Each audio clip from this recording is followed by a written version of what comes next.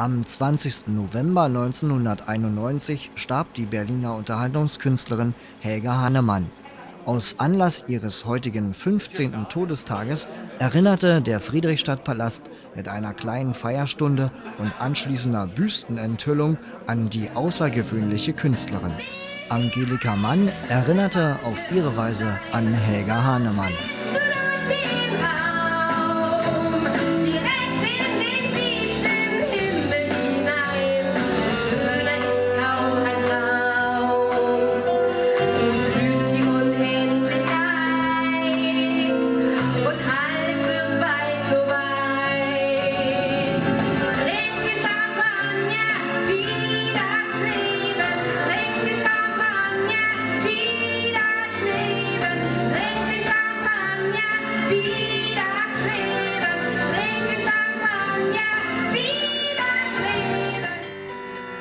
Helge Hahnemann liebte Soul und Jazz. Angelika Weiz stand mit Henne, wie sie liebevoll genannt wurde, so manches Mal auf der Bühne, um mit ihr gemeinsam zu singen.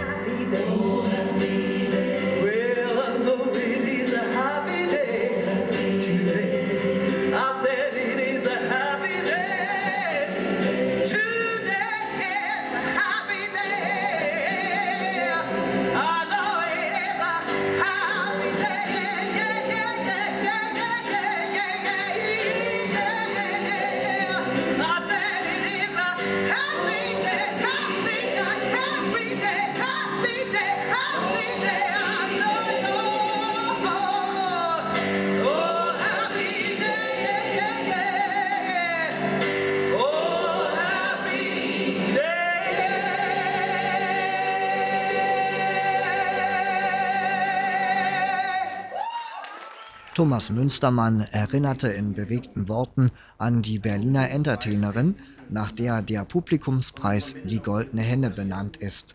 Einmal im Jahr wählen die Zuschauer des MDR und die Leser der Super-Ello ihren Publikumsliebling aus Kunst, Sport, Politik und Medien.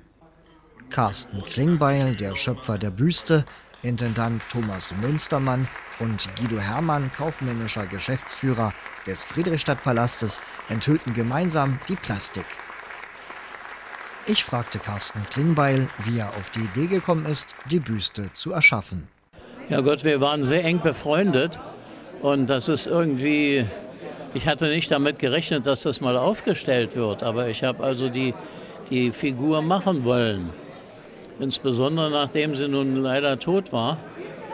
Und wir haben ja das ganze Ende miterlebt. Äh, meine Frau hat ihr Testament geschrieben, also es war eine dramatische Situation.